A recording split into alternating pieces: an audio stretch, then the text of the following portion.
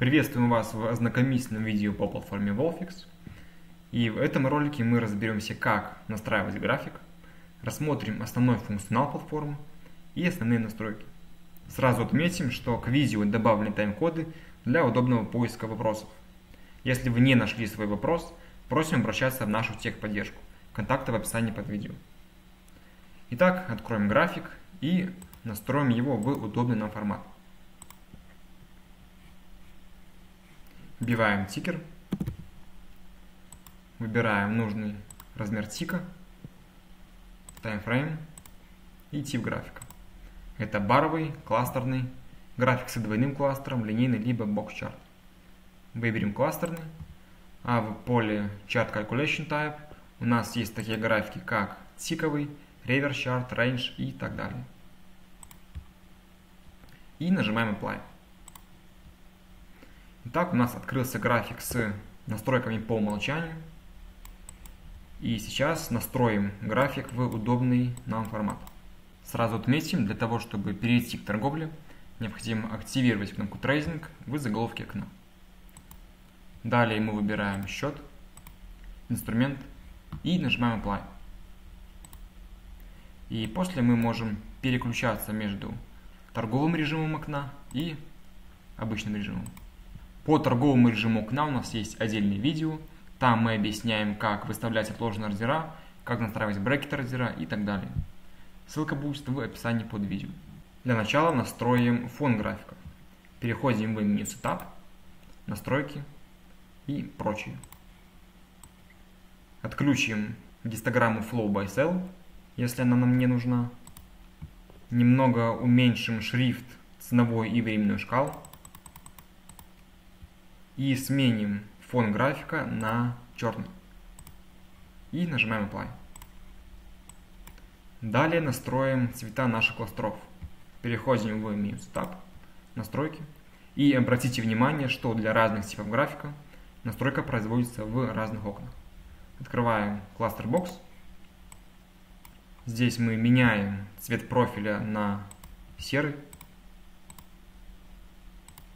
Далее настроим линию Sideline, которая отображает направление бара. Сделаем ее потолще. Если эта линия нам не нужна, можно ее отключить. Ставим Off и подтверждаем. Также отключим отображение максимального объема кластера либо бокса. И нажимаем Apply. Сменить цвет Sideline можно в Setup, Настройки, Tick. Bar Side Up, Bar Side Down и Bar Side Flat отвечают за отображение стороны бара. И далее разберемся, как настраивать индикаторы, которые у нас отображаются по умолчанию. Setup, Status, Bar Complete показывает степень завершенности бара в проценте. Отключим его. Bar Size показывает размер каждого бара в тиках. Тоже его отключим индикатор COT High-Low. Данный индикатор отображает дельту за каждый бар в момент обновления минимума и максимума каждого бара. И далее можем настроить разделитель периода. По умолчанию график загружается по сессии, то есть отображается сессия целиком. Напомним, сессия на бирже CME открыта с 17.00 до 16.00. Если же у нас есть необходимость разделить график по суткам, то мы в поле Timeframe выбираем Day, кликаем Edit, и график у нас будет разделен посуточно. Загрузим второй день, чтобы лучше увидеть разделение периодов. И видим, что у нас график разделен посуточно. И также можем на выбранные интервалы построить профиль. Открываем меню Draw Tool, активируем профиль и накладываем профиль на интересующий нас интервал.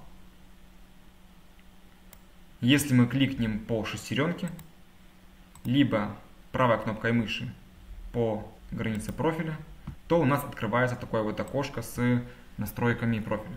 Тут у нас есть возможность изменить тип профиля, например, на дельту либо трейд. Опция Extend Right автоматически строит профиль при появлении новых рыночных данных. Можем изменить прозрачность профиля. А ниже мы можем отключить вертикальную гистограмму, которая отображает кумулятивный объем. И здесь же можем активировать линию VWAP за выбранный интервал. И выбранные настройки мы можем сохранить по умолчанию, и все последующие профили у нас будут открываться с этими же настройками. Таких профилей мы можем наложить сколько угодно на любой интервал графика. Далее рассмотрим настройку горизонтальных гистограмм. В платформе Wolfix можно разместить на графике одновременно до 6 гистограмм. Предположим, что мы хотим отобразить гистограмму объема за текущую торговую сессию, гистограмму дельты также за текущую торговую сессию и гистограмму объема за текущую неделю. Выбираем Week и в поле State ставим On и закрываем. И слева видим наши три гистограммы. Но отображаются они не лучшим образом, поэтому в настройках мы можем отобразить их каждую на своей оси. Для этого активируем опцию Self Area в каждой из гистограмм. И видим, что каждая гистограмма теперь отображается на отдельной оси. Далее давайте рассмотрим настройки гистограмм. Поле Type мы можем выбрать тип гистограммы. Size – это возможность менять размер гистограммы. High Low Ray – это лучи, которые отображают границы гистограммы. Max Volume Ray отображает луч максимальной цены гистограммы, то есть цены POC. Max Volume Only – это опция, которая позволяет отобразить только лишь цену POC. И далее идет настройка зон стоимости, TPO. Настроим их так, чтобы зона стоимости отображалась синим, а зона вне стоимости серым. И то же самое сделаем с недельной гистограммой.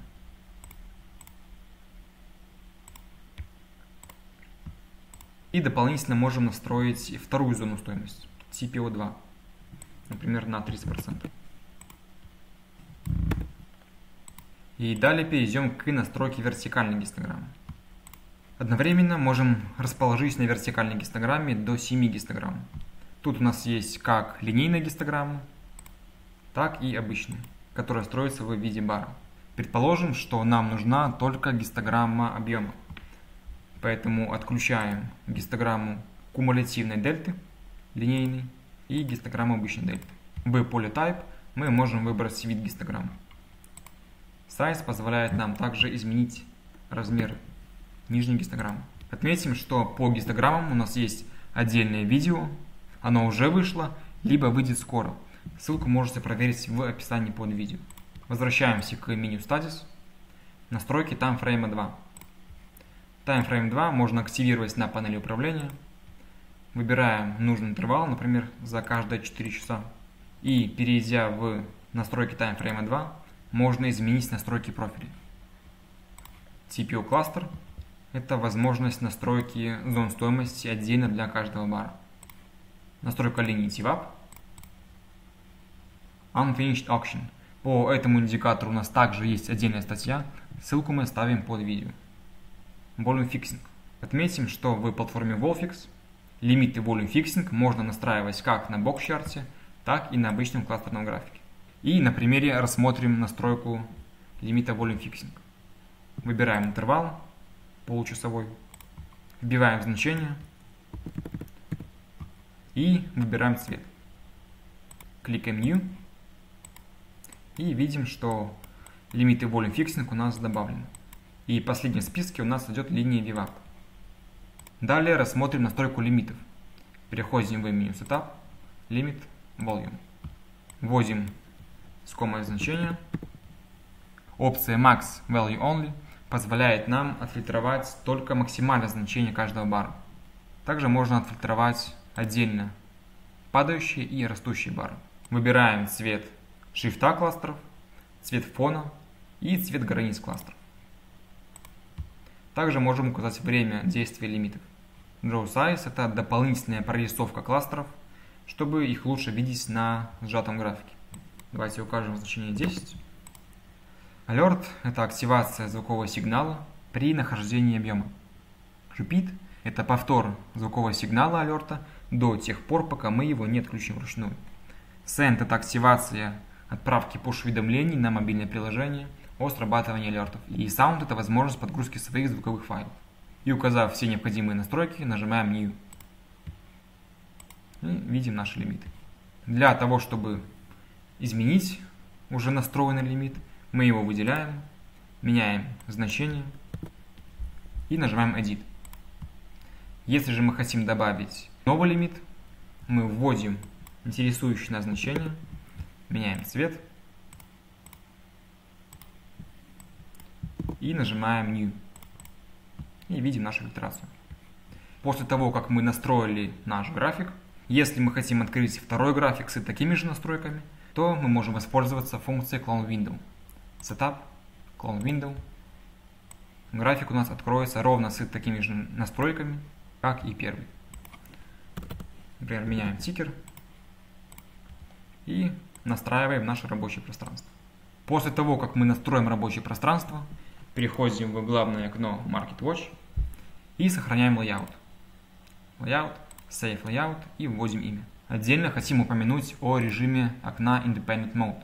Если нам необходимо два окна с одним и тем же инструментом, но с разными настройками лимитов и линий, то мы активируем в одном из окон функцию Independent Mode и можем поэкспериментировать с настройками лимитов. Режим окна Market Replay. Market Replay – это функция, которая позволяет торговать на истории. По Market Replay у нас есть отдельное видео, ссылка также будет в описании. И далее давайте перейдем в окно Market Watch. Подключить реальный счет можно в меню Setup Connections. В разделе Component мы можем найти Statement. Открываем вкладку Equity, выбираем счет, интервал и нажимаем Apply. И можем видеть определенные статистические данные. В окне Position Control мы можем управлять нашими открытыми позициями и активными ордерами. А во вкладке Accounts мы можем задать определенные настройки нашим счетам. Кликнув два раза по счету, у нас откроется такое вот окошко с настройками счета. Здесь мы можем сделать счет публичным в рейтинге трейдеров, задать никнейм счета, который будем видеть только мы в торговом окне, и роль счета – мастер либо слейв. Функция мастер-слейв позволяет дублировать сделки с одного счета на другие. По функции мастер-слейв у нас также есть видео, ссылка будет под видео. И здесь же можно изменить баланс тестовых счетов. Выделяем счет, кликаем Account Size и вводим сумму. На этом у нас все. Если у вас есть какие-либо вопросы по платформе Wolfix, просим обращаться в нашу техподдержку.